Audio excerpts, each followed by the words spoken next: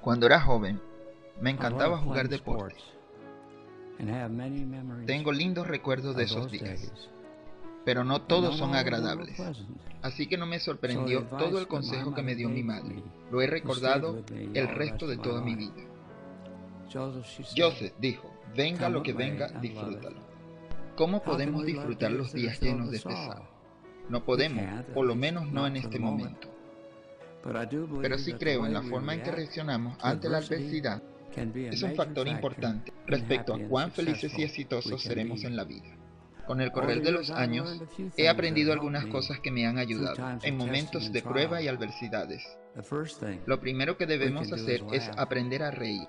¿Alguna vez han visto a un conductor enojado que cuando alguien comete un error reacciona como si esa persona le hubiera insultado su honor? Su familia, su perro y sus antepasados, llegando hasta Adán. La próxima vez que se sientan tentados a quejarse, más bien intenten reírse. Alegrarán su vida y harán más agradable la vida de los que lo rodean.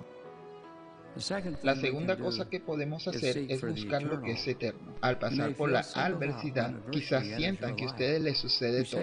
Quizás mueven su cabeza y se preguntan por qué a mí. El aprender a llevar los momentos de desilusión, sufrimiento y pesar es parte de nuestra captación sobre la marcha. Esas experiencias, aunque a menudo son difíciles de soportar en el momento, son precisamente el tipo de experiencias que expanden nuestra comprensión, edifican nuestro carácter y aumentan nuestra nuestra compasión por los demás. Debido a que Jesucristo sufrió intensamente, Él comprende nuestro sufrimiento, comprende nuestro dolor. Experimentamos situaciones difíciles para que también tengamos mayor compasión y comprensión hacia los demás. Tercero, ¿qué podemos hacer para comprender el principio de la compensación? El Señor compensa a los fieles por toda pérdida.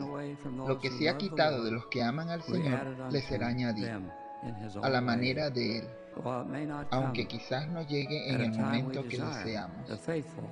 Los fieles sabrán que toda lágrima de hoy, con el tiempo serán compensadas cien veces con lágrimas de regocijo y gratitud.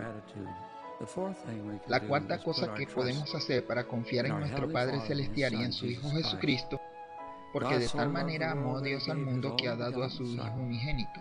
El Señor Jesucristo es nuestro compañero, ayudante y defensor. Él quiere que seamos felices y tengamos éxito. Podemos soportar las dificultades y las pruebas. Podemos decir como dijo mi madre, venga lo que venga, disfrútalo. El secreto sencillo es este. Pon tu confianza en Dios, haz lo mejor que pueda y déjale el resto a Él. De ello testifico en el nombre de Jesucristo. Amén.